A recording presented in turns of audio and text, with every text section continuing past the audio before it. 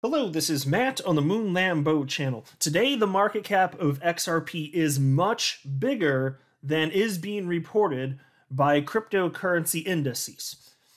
In, in fact, XRP today, despite uh, the uh, the fact that the SEC is going after Ripple, claiming that XRP is a security, an unregistered security of Ripple, despite the fact that XRP price is suppressed today, XRP is number three in market cap. Now, how can that be? Well, I'm going to share with you, with you some things that are not widely understood within the world of crypto. Uh, number one, and I, I, seriously, I don't know that I've ever really fully ever fleshed this out on my channel. I, I think I have not, which uh, is kind of regrettable at this point because I've been making my I've, like I've made the point before, but um, market cap, the term, has been hijacked and misused. What is being reported in crypto to be market cap historically absolutely is not market cap. People in the world of crypto, crypto hijacked the term and made it mean something else. So that's one reason. I'm going to break that down. And then there's, there's a second reason also, which which is that the circulating supply of XRP is being misreported. So there's a couple things that you need to understand. But uh, before going any further, I do want to be clear that I do not have a financial background of any kind. I am not offering financial advice, and you definitely should not buy or sell anything because of anything that I say or write. I'm just an enthusiast who enjoys making uh, crypto related YouTube videos, but uh, just as a hobby and just for fun. So, what is market cap? And this has been bothering me for literally years. I've known this for years. But uh, what is market cap? Well, in crypto, the way it's described is that market cap is the circulating supply of a cryptocurrency times the current market price. But that's not actually uh, that's that's actually not what market cap is. Market cap is actually the total supply. If, if, if you're going to use the term the way it's always been used prior to crypto existing, all you do is you take the total supply and multiply it times the current market price. That is market cap, period. What is so what's the number that's actually being reported here as market cap? And I'm a live coin watch, watch right now. By the way, nothing against live coin watch other than I mean this is a friendly critique just to be clear. Uh, what, what they're reporting and coin market cap does the same thing what they're reporting as market cap for every coin is not market cap it's actually what's known as free uh, free float capitalization which is a completely separate concept um, and, and, and, to make my case, um, I, I, will show you um, here. I'll show you this. This this is Coin Market Cap's website, uh, and if you click on this or just highlight over this little eye, they they explain what market cap is. They wrote the following. It's on your screen right now. The total market value of a cryptocurrency's circulating supply. It is analogous to the free float capitalization in the stock market. Literally not true. It is not analogous to that. What is free float capitalization in the stock market? And you've got to understand this concept if, if you're going to get this point. Free float capitalization in the stock market is um, all shares that are publicly traded. So it would exclude any any shares held by like a, a government or executives or, the, or the, the, company itself. It's just what the public has. So th- that so it's not the total supply.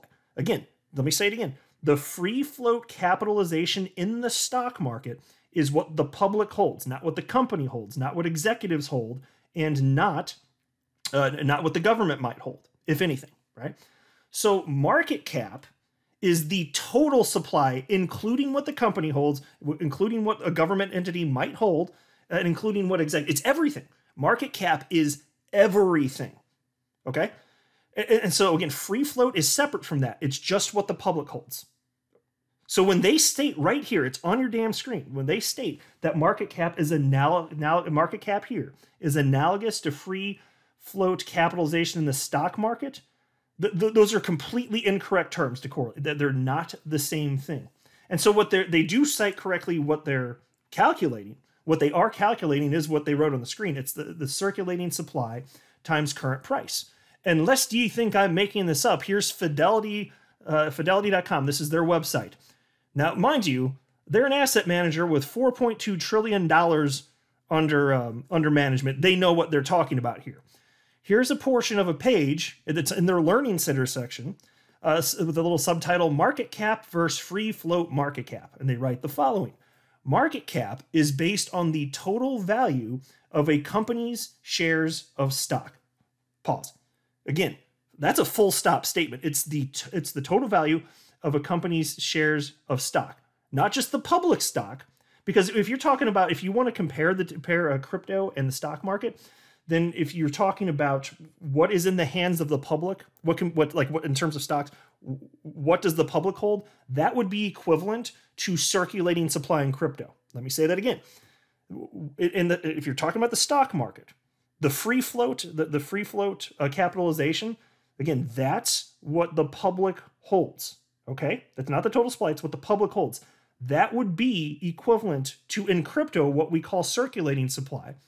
It's what the public can hold, which again, two completely different things. And so they cite here also float is the number of outstanding shares for trading by the general public. Again, the general public, not counting the company, not counting executives, not counting uh, the, the, government. So that's what free float is. Okay.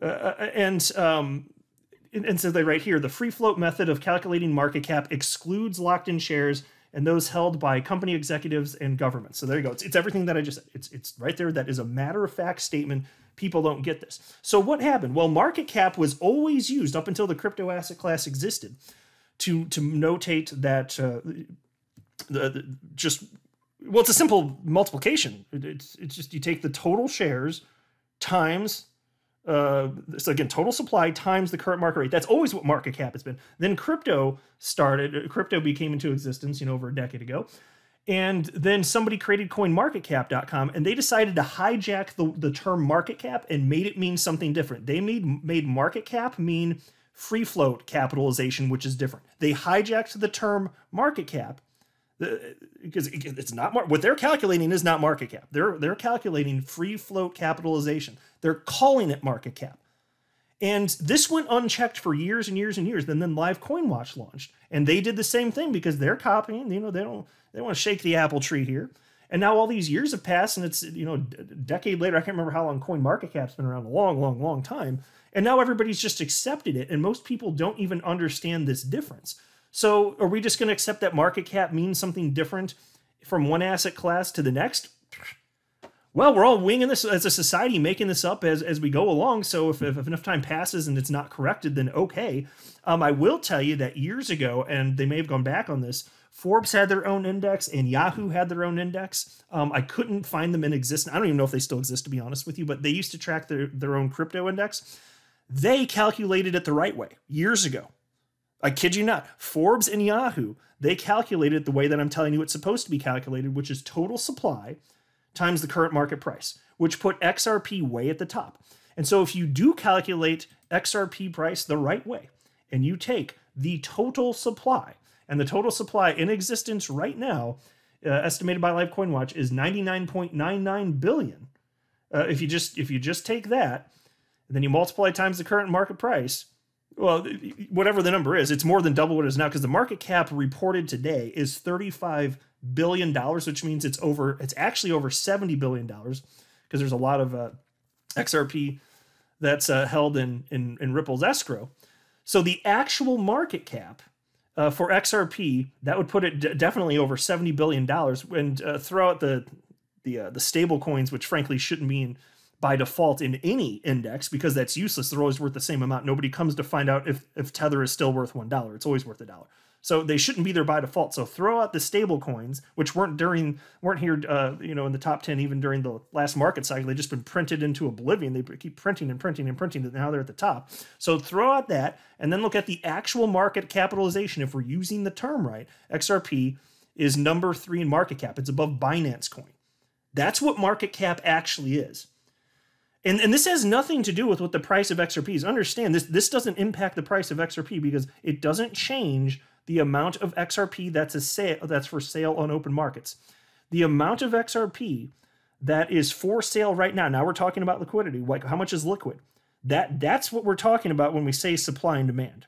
So whether there's 50 billion or 100 billion XRP, whatever the total number is, that doesn't determine what the price of XRP is other than maybe a minor psychological impact because people are aware of this big number. But no, what really plays into it is how much is bought and sold, how much is, is, is available on open markets. That's supply and demand. That's what it actually is. So saying that XRP is actually number three in market cap, uh, you know, even if people accepted that, that wouldn't change the market rate of XRP. The same amount's still available. So understand that me stating what is factually true, which is that the real market cap of XRP puts it at number three in market cap, uh, despite the fact the SEC is going after it, even though that's true, uh, even if that were widely accepted and suddenly like you snap your fingers and everybody just knew this, if I could just plant that knowledge in people's head, it wouldn't, uh, it, it, that in and of itself wouldn't change the price of XRP because again, it's about what's available for sale on exchange. Now, um, it, it gets even more deep than that though. What about circulating supply? What constitutes circulating supply? Hmm. Well, let's get into this. Take a look at there's this tweet from Alloy Networks, which is a, a validator on the XRP ledger. Um, and um, and they've been around for years and years and years. And they tweeted out the following: Been noticing some amusing tweets that XRP is inflationary. Here's a link to the code that shows that's just plain wrong slash uneducated slash trolling. And and and where did this stem from? Uh, oh, actually, here, I'll, I'll show you the code right now. Here, it's on your screen. Um, and you can see there's a note. This is the GitHub website, and they even wrote at the top here a transaction must not create XRP and should only destroy the XRP fee, which, of course, if it's destroying the XRP fee, that makes it deflationary by code. And again, the code's on your screen. You can scroll through all the code. This is open source, it's provably the case. But this person who doesn't know what they're talking about, uh, named Dark Tetrad Psycho on Twitter, wrote the following because uh, actually, uh, one more step here. Matt Hamilton, former Ripple employee, wrote XRP is deflationary. Try again. Dark Tetrad Psycho retweeted that from former Ripple employee Matt Hamilton and wrote the following XRP is not deflationary.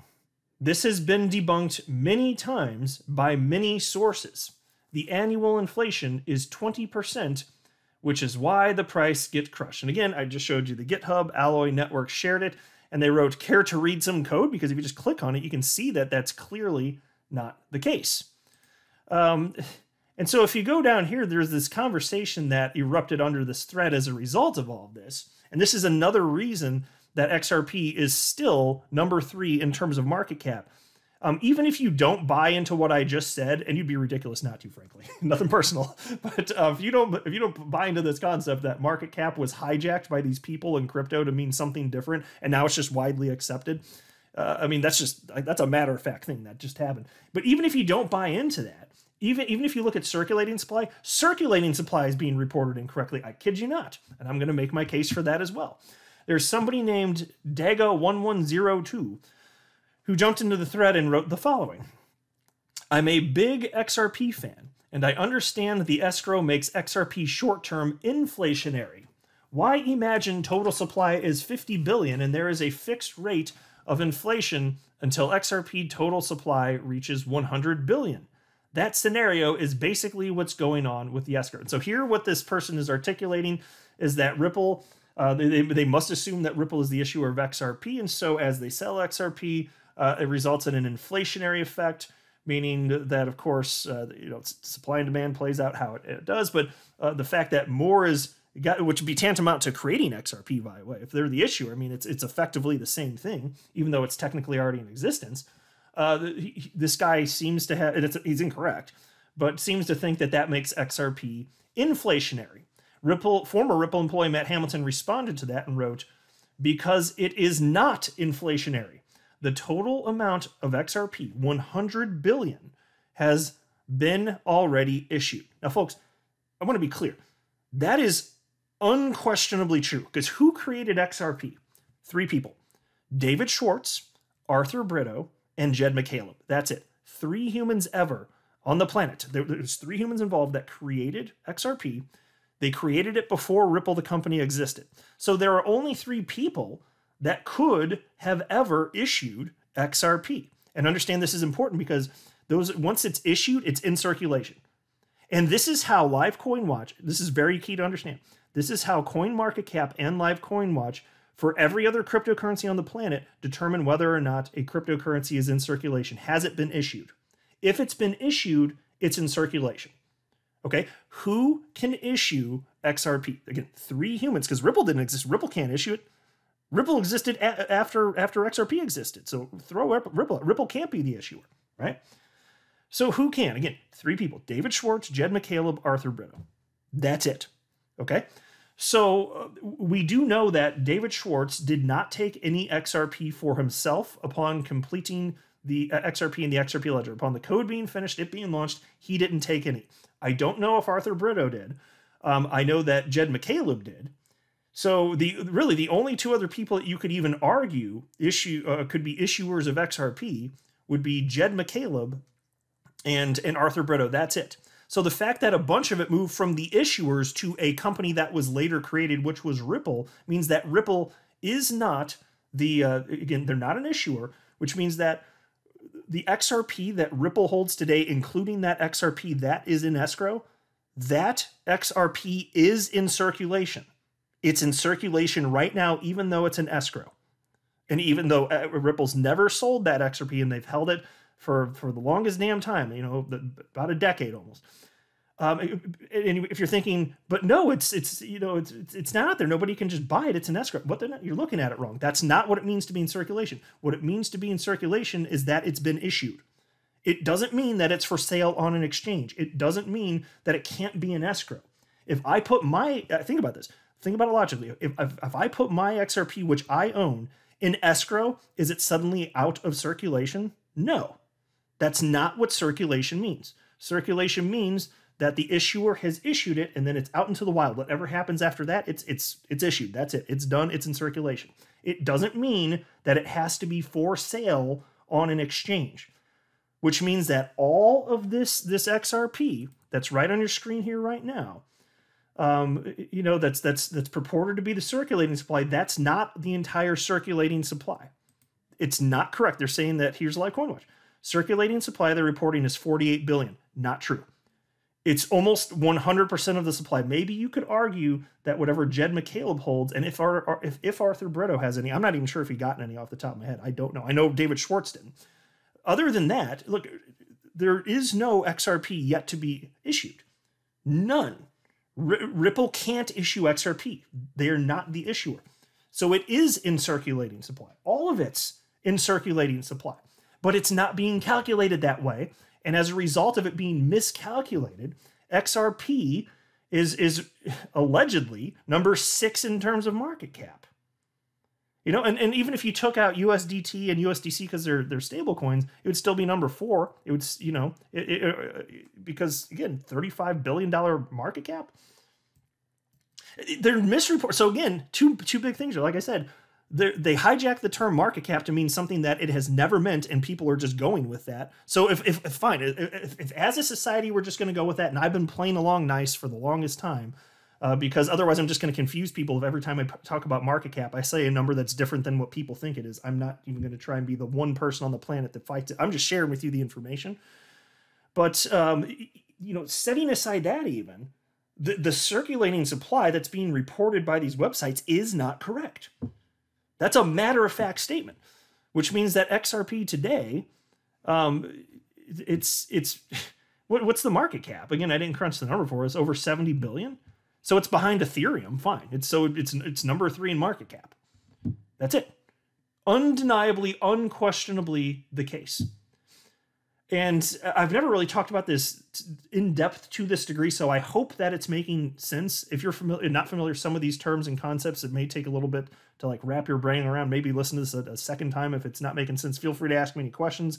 Um, I've been thinking about this for literally years on end and just been playing along with people that just don't know what they're talking about when it comes to issuance of cryptocurrency, circulating supply, and what the hell the term market cap means. So again, if, if we're going to play along and just pretend like market cap is this different definition, but just for this asset class, with anything else, um, that's not how it's calculated. Go to precious metals, go to the stock market, it's calculated differently. But if we're just going to accept because reasons here, it's different for crypto, fine. I think that's stupid as hell. But if that's what we're going to call, because what they should have done is just said, okay, market cap is total supply, um, total supply um, times the current market price, because that's what it actually is. And then you should have just had free float capitalization, which you can't even find on, or maybe you can. I don't know for sure if they have custom filters for that. They might. Um, but but give it the right damn name. But they didn't want to. They didn't want for whatever reason. They thought that's the number that's important. That's my speculation anyway Because market cap, that's the term that people know when it comes to stocks. That's the number people actually care about. And, and so, for whatever reason, they decided that's the one that's important. But it's not analogous, as I highlighted, and I've proven my case. It's undeniably the case that they just hijack the term and then circulating supply. Come on, folks. It's completely absurd here. Um, and, and, and, Matt Hamilton ends up making the same point here. So he stated, uh, you know, um, XRP is not inflationary. Why? Well, it, it's already been issued. All the all the damn XRP's been issued, unless except for maybe you could argue Jed McCaleb. And I don't know the full history of where his has moved. Did he, does it move somewhere else and then back to him? Maybe it was issued and then somehow it went back to him. Maybe it was from Ripple and back to Jed McCaleb. Um, that may be the case that Matt Hamilton will make, because later in the thread he said it's all been issued, and he could be right. He could absolutely be. I just don't know for sure where where his issue. So I'm just like to be fully transparent. But yeah, if it was issued, like if it was issued to Ripple, then it's out in circulation, and then if some made it back to Jed McCaleb, well, okay, that doesn't make it suddenly go out of circulation. That is not how this. It doesn't mean it's now. It doesn't go from issued to unissued. That's not. That's not how it works, folks. And that's not how they're counting anything else. Look at Bitcoin or anything else. That is not how this works.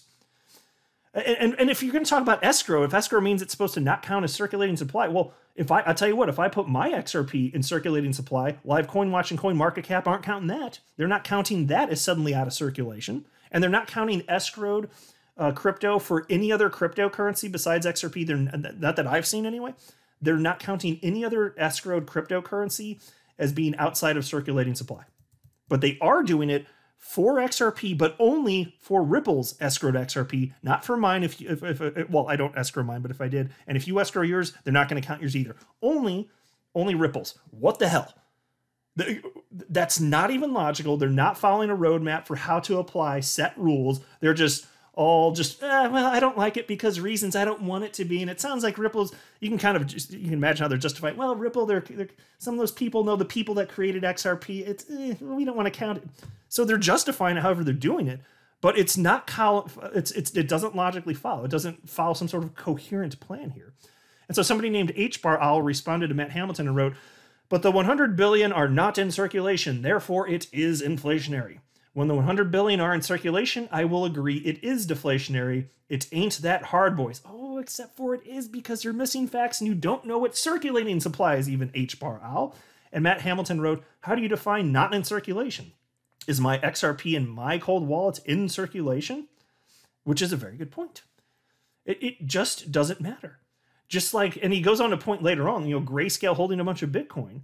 Uh, that you know, just because they're holding a bunch of Bitcoin and that's a hedge fund, it doesn't mean that it's not in circulation. It is in circulation. It's just being held by a big ass hedge fund. uh, I'll go ahead and wrap it there. That might have been a mind bomb for a bunch of people listening. I kind of hope it was. I hope that I shared some stuff that you were completely unaware of here. And if you think I'm wrong, let me know. I've been thinking about it for years, though I've thought of uh, every conceivable angle. But hey, if I miss something, you've got something persuasive, let me know. But I think Matt Hamilton's right. Everything is in circulating supply, uh, unless you could argue Jed McCaleb. So I, I, don't know that one 100%, but even that's a small percentage of XRP at this point. He owns, I think he owns less than a billion, what, like 600, 700 million, so whatever it is. Um, but no, Matt, Matt Hamilton hits the nail on the head. And XRP is provably deflationary. It's written into the code. XRP is number three in market cap. The world just seems to not want to admit it. Ridiculous, right? I'm not a financial advisor. You should not buy or sell anything because of anything that I say or write. That would be a very, very, very bad idea. Until next time, to the moon, Lambo.